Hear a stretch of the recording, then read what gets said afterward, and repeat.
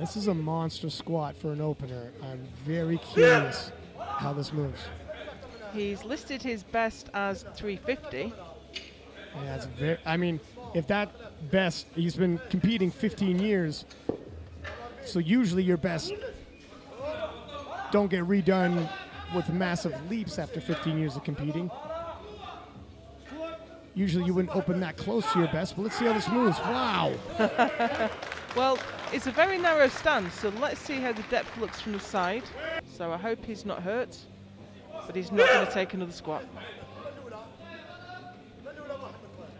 Yeah, when you when the muscles stretch like that, when you dive bomb with that kind of weight on your back, it's hard to keep Well, I think control. it's also difficult to keep control of which direction you're coming up in. I think the weight got in front of him, um, and he dumped it over his head, which was really hard for the spotters behind him to catch. Have Mohamed Sahad for 355. Now the strength is there. Was it deep enough? It was. The squat gold. This is a monstrous squat, let's just say. 365 kilo, this is a monstrous squat. And I think the spotters and loaders are already anxious with what we've seen. So when they have this kind of weight loaded, my goodness, I'm glad I'm in the media booth. We are still a way off the world record, which was Dennis Cornelius for 386 back in 2017 Yeah, in Dennis, Minsk. likely the greatest 120 kilo lifter of all time, and he's on the comeback. We might see him again in the future. Depth looks good. Oh, whoa! So easy. Oh, wow. He looked like he had another 10. Well, I'm glad the coach caught that before he attempted it. 20 kilos Yeah. extra. That would that could have. We've already had we've already had a crazy session that could have ended very, very badly. But we have Sahad on the platform right now for 200.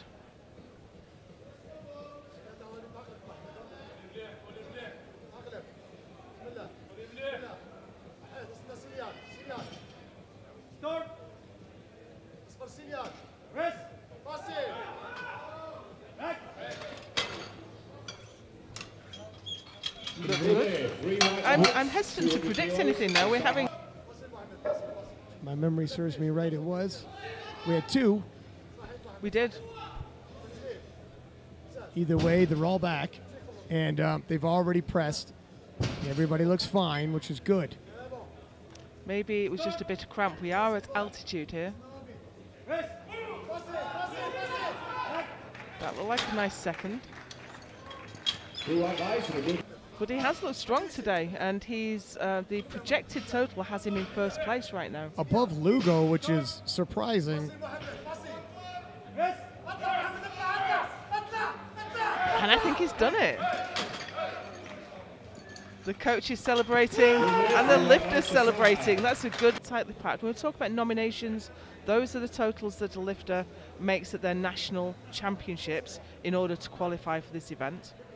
But the 40 kilo spread between Lugo and him is completely diminished, and now he's 15 kilo ahead of Lugo. It's surprising. And looking comfortable with 320. 15 kilos ahead. It's a 55 kilo difference. But this is sports. Throw the nominations out the window once the the Yeah, action starts. Bench 20 kilos more than his nomination and squatted 15 kilos more. How much more will he dead? And this is already 5 kilos ahead of his nomination. So he is This is a good play by Team Algeria. I think 10 kilo is within his reach, and it will put the gold out of Lugo's reach. I think so. That's a very experienced coach he's got with him, and he looked great with 335. Yeah. I think he's got this. I think he does too.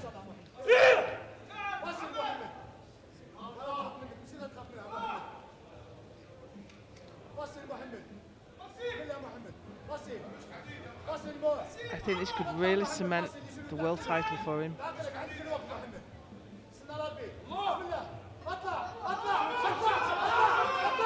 Oh! Wow. And the door just swung open for Lugo.